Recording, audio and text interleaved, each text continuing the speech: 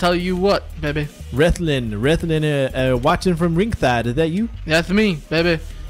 Live in the living color. Only on KXVS, baby, the voice of Stockton. So people on the Facebook, YouTube, and Periscope land are tuning any way you want to because we are watching from ringside. All day, every day, only on Friday. And maybe Saturday too. Sometimes on a Sunday, cause you know they got them special shows. Know what I'm talking about, baby? Stop stealing my gimmick. but Yeah. Ben, Ben, let's get into all seriousness. This Yeah. is like, uh, let, watching from ringside, uh, as we were talking about, is a pro wrestling show with The fun- only pro wrestling show on KXVS. or in Stockton. or in Stockton, yes. Yeah, come tell us if you're somebody else. In. The premier podcast. Yeah, the premier podcast of pro wrestling talk in the Central Valley is me and Ben, and it's fun. So we talk about the world of wrestling from our perspective and um, give you the latest going ons of what's going on in the world of wrestling. Right? Yep. WWE, New Japan Pro Wrestling, Ring of Honor, All in too, Yeah, and All In. which is brand new. Brand spanking new. So we're Could gonna change the face of wrestling as we know it. we're gonna break down all of that throughout. Well, whenever we have a show. So I'll tell you what, Ben. What? What? What? What? What? What?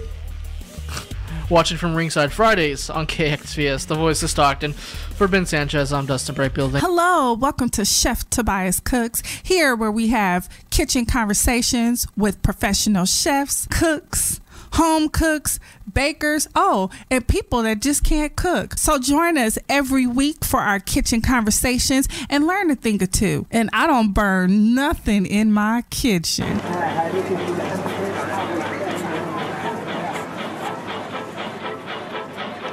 Do you want to relive the golden days of Stockton? Join Nate Knott on Stockton Alive every first and third Monday at 6 p.m. Tune into thevoiceofstockton.org.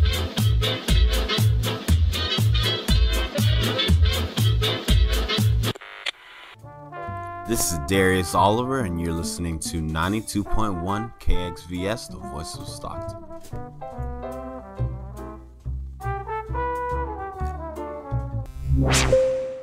The views and opinions expressed in the following program do not necessarily reflect those of KXVS, the voice of Stockton, or its parents, affiliates, management, and staff.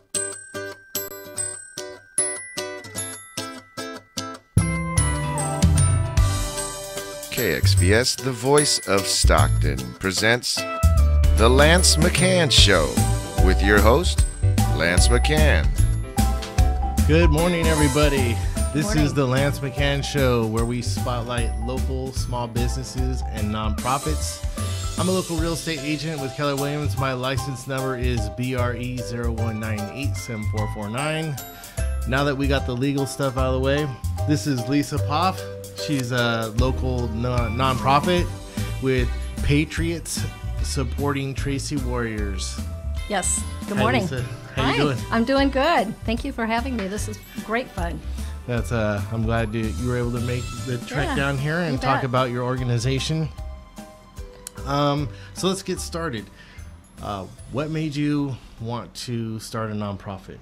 Um, our son had been in Afghanistan two years out of three, uh, and it- our family needed some place for support. We needed to uh, have some place where we could get information, uh, get involved in our community. We just we needed someone to be able to give us information about what he was doing, where he you know a lot of things, and, and it just wasn't readily available to us. So uh, I learned then that that's what we needed to do. We needed to provide an organization for families to come to us and use us as a conduit. Uh, all of us have had have years of experience with our kids in the military, and there's five of us, and we all are at different stages, and so we bring different different information, different experiences to the table. So families come in that were in the place I was in five years ago, completely lost and floundering, and uh, we can. there's we no can provide- central location where people can go get information. No, no. Uh, it's it all.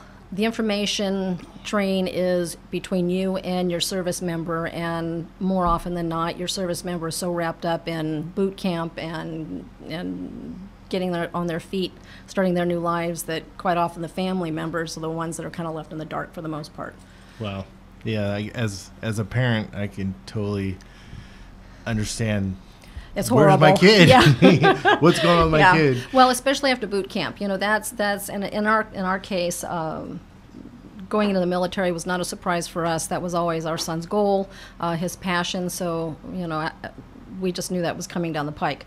Uh, and going into boot camp, um, the bases have Facebook pages set up. They do have an information path for you, but once they leave boot camp and get into their first duty station, then the information is entirely between you and your and your service member. And in our case, our son wasn't uh, out of boot camp and at his first duty station more than two months, and he was already on a plane to Afghanistan. Oh wow. So we were not only were we newbies in the military realm, uh, we were dumbstruck that all of a sudden, wow, now we've got to deal with overseas deployment.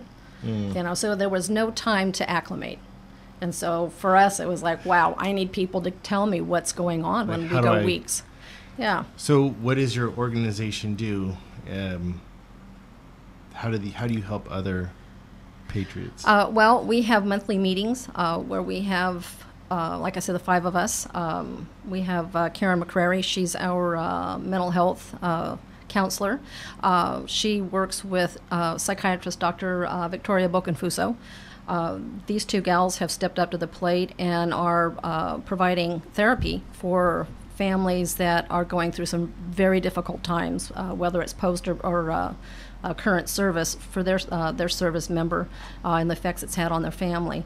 And then we have Shannon Johnson, Sylvia Madrid, um, and Julia Conover. And like I said, all of us, other than the two gals from the mental health uh, world, we we've all bring different experiences to the table. So I think uh, families, the families get lost in the. we do get lost, absolutely, and it's, and and some families don't want to know. They don't want to hear about it. They don't want to know about it. Uh, for me, that wasn't. I'm I'm a very hands-on. I wouldn't. I couldn't. I couldn't survive that. Uh, but so what we do is we have monthly meetings. Uh, currently at the transit station in Tracy. Uh, soon to come the first of the year, I think we're going to be over at the Grand Theater. Uh, but it's the second Wednesday of every month, and we bring resources. We we have our uh, our mental health counselor uh, attend all of our meetings. So if there's somebody that comes in that would like one-on-one therapy, they can make those arrangements uh, off-site uh, in her office. Um, but we are the conduit to the community. You know, there's a lot of things that go on in Tracy and the county that most people don't know about. Because you've teamed up with somebody here locally in Stockton. Yes, right? I have, and, and it's been the best thing ever. Yes, Miss Maria Tompkins is the Yeah, bomb. Blue Star Moms. Yes, yes. Friend of mine. Absolutely, yes. And so, and, and she has graciously taken us under her wing uh, and introduced us into the Stockton community. Uh, and she's also um, willing to have us co-host. Uh, we've got an event September 1 uh, here at the Art Lab on Miracle Mile. And uh, Thank you, Drew she's Hunt, for that. Yes, absolutely. Thank you very much. So, so that's what we do. We get phone calls uh, from A to Z. It's just kind of a nuts so and bolts thing. What, so what kind of therapy? Because there's all types of therapy. What type of therapies do you offer, and do you uh, PTSD, um, anxiety? yes. There's a big one that's no, not too many people are talking about is sexual trauma. That's a huge that's a huge problem, and you're right. That really is not uh, as commonplace as PTSD or or um, problematic behaviors as a result of TBIs. Uh, but you're right. Uh, For the general public, what does TBI? oh, I'm sorry. uh, uh, traumatic brain injuries. So Uh, so it's and that that is addressed. Uh, these two gals are uh, able and and willing to go ahead and provide help for those that are struggling through the result of. Uh, um, uh, Sexual sexual trauma. trauma, yes. Uh-huh. does that generally affect more women than men, or does it, or, or men? I, you know, I, I don't know but statistically. I would I would make the assumption, and I could be completely wrong in this, uh, only in that men, particularly in the military world, would not discuss having a woman traumatize them. Um, that But- would be but- my guess, but, I, I, I you could be wrong. it- what I've heard, uh, and I know somebody personally, it was uh, a, a man who was uh, assaulted by other men. okay. So other service members, Mm-hmm. yeah, I'm sure there's a percentage of that out there, and uh, and you know these the help's here. Uh, you know, we can we can help them work their way through that. I'm And sure that's a very serious What's issue the for cost some. for the therapy? uh, currently, nothing. They are donating and their gentlemen. time. Doing So- good for the community. Yes, absolutely, and uh, we're very lucky and, and blessed to have them on board with us.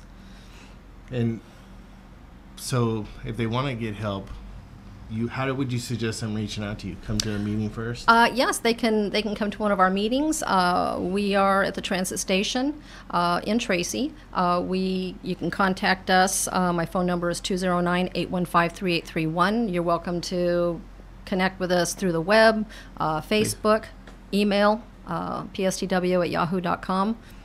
You know, whatever works for you.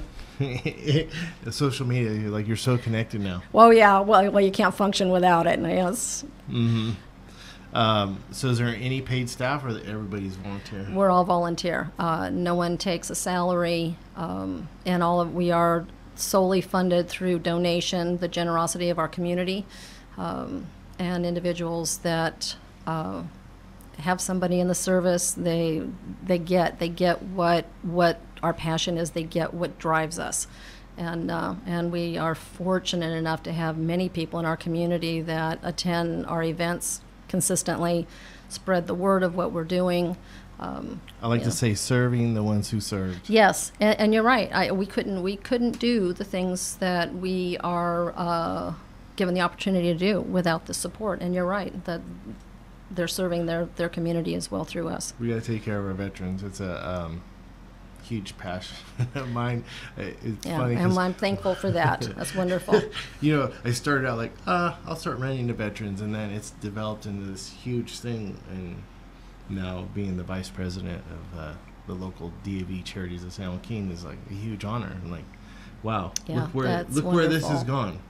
And now I'm able to, with this, have a show and do, be able to serve the the ones who served. Yep. Yeah, and and it, it's it's a fantastic passion uh, for us. It's it's about giving back to families and vets that we can't. All of our kids are away from home. Uh, we don't have the luxury of, of dinners or the occasional, you know, going out to the movies. But um, so we take that energy and and that that passion and we and we put it into other families. So what do you do at your meetings? Do you talk all about your problems, or is there positive Sometimes. stuff, or you know, what, tell me No, there is that. positive things because you know military is not all, all about negative. Um, my kid loves being deployed, loves it. Um, it drives mom crazy. It does drive mom crazy, and um, you know, if truth be known, would I have chosen a different path? I, I don't think there's a mom out there that wouldn't say yes. But um, I am equally proud as I am equally terrified. Yes, I can so, uh, so we do. We talk about the good because there are a lot of wonderful things that have come uh, come out of our son being in the service. Um, you know, not some not so hot, but you know, you you deal with them as a family. You you you deal with them, and you find your resources. You communicate. Uh, that's a huge, huge factor is communication. Um, so. So how many people do you have show up at the meetings? Oh, we can have anywhere from five people. Uh, we can have up to fifteen. It just it just kind of depends. Summertime is hit and miss with folks, uh, and uh, so it's just at random. You have any success stories you could share?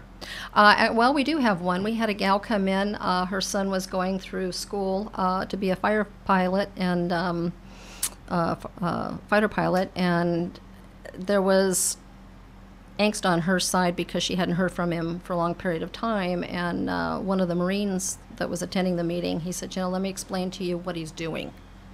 And uh, she walked out of there feeling so much better. She then went on with uh, the uh, the therapist, and um, between the two of them, she has a better understanding, and through the support group, a better understanding of what her son is doing, and not not feeling as if she had just been cut off. Yeah. So it's very So- intense training, I would imagine, to be a fighter yes, pilot. yes. And here's a young man that's going into an amazing career, phenomenal. Um, and the Marine told her, he says, you know, we we know you're home safe. We know you guys are doing your normal routine things in life, and we just put that in the back burner. It's the only way we can get through it. It's not that we don't care. It's not that we've forgotten. Uh, we have to we have to dig deep and, and focus. Push forward. Yeah. hmm I mean, and you know, these guys Soldier are young. up. yes, and and they're young men, and quite often, most of them have never had never left home, had never lived on their own. You know, so they're dealing with a whole host of experiences that they'd never had before. Wow, never thought of it like that. Yeah, they're newbies in, in life, you know, Right. and independent thinking. Uh, well, of course, the military doesn't provide much of that, but you know, these are guys that now have to manage their own finances, get themselves to and from uh, uh, mess hall or DFAC on time, get their laundry done, make sure everything they're responsible for all of their gear. You know, or quite often most of them have come from families where mom and dad have kind of overseen all that, and now all of a sudden, you know, it's like You got to grow up really I fast. got to do it myself. Uh oh. know. I tell my kids like my job is to make you uh, be uh, a young man or a young woman before it's time.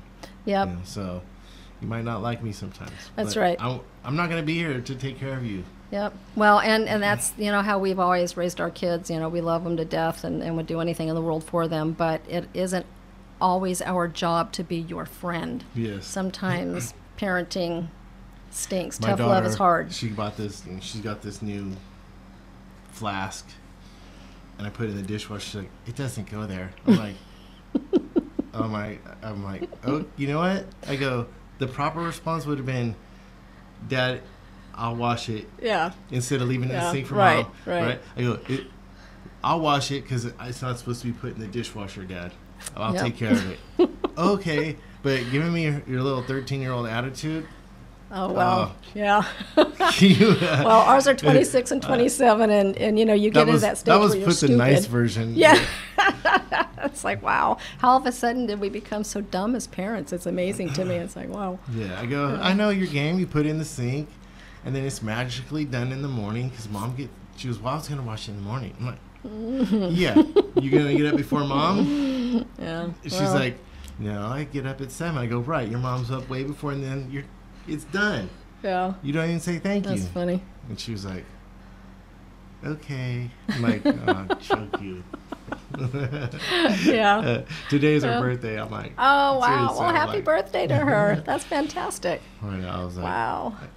So I she's a her, I'm teen like, I can't today. believe you. I left and not told you happy birthday. But I know, Oh. I always give her a hug and kiss. before she Yeah. does, So, That's sweet. um, what um, what is the most mental health issues you you see come through your organization?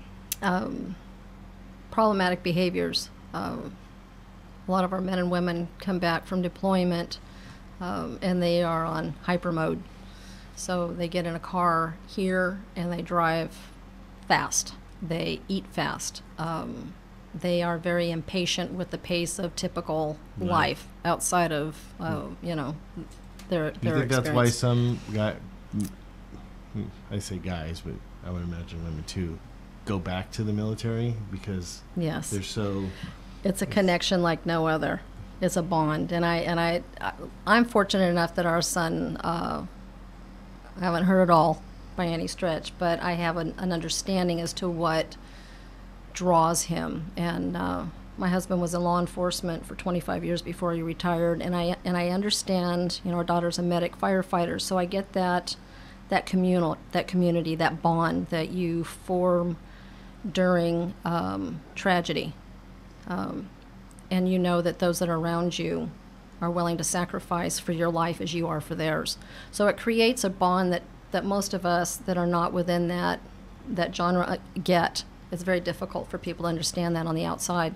So um, when people separate service, uh, they're they're lacking in that in that identity, that continuity, that connection with people, and people don't understand their mindset and why it's difficult to go into restaurants. Um, their humor sometimes can be a little dark. uh, so you know, I have know, a friend. Yeah, he, he's like that. yeah, and and you know, if you're not used to it, it's very off-putting for some people. They're like, "Whoa, you know, that's probably not This the most guy's a little appropriate thing to say." Yeah, yeah, and you know, and they just go 100 miles an hour sometimes, and, and it's not that's not to say that everybody is like that, but there is a fair percentage of people that have the effects of of, of um, deployment, uh, and they they are typical in most behaviors.